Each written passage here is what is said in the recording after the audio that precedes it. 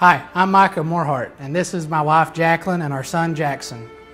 At Morehart Mortuary, we've been family owned and operated since 1983, and we're also a second generation funeral home. We know how difficult dealing with the death of a loved one can be.